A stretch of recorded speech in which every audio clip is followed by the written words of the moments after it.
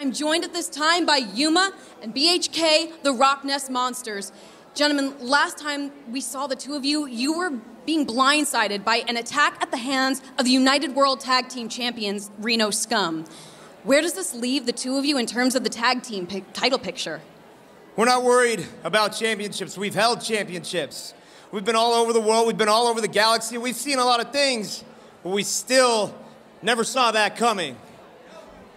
Reno Scum, you are two of our most powerful allies, two of Earth's most powerful allies, and you've betrayed us, and you've broken our trust.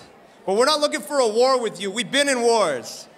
This isn't gonna be some war that lasts a long time. It's gonna be one battle. We're doing this once, and we're doing it right. Tell him, Hunk. You see, Scum, we don't know if you two guys are in cahoots with Vermin or not. But we're not going to be taking any chances. That's why when we finally get you in the center of that ring at the red carpet rumble, it's going to be surrounded by a steel cage. Well, you'll see the Rocknes Monsters in your main event today, but don't go anywhere. We've got more action right now.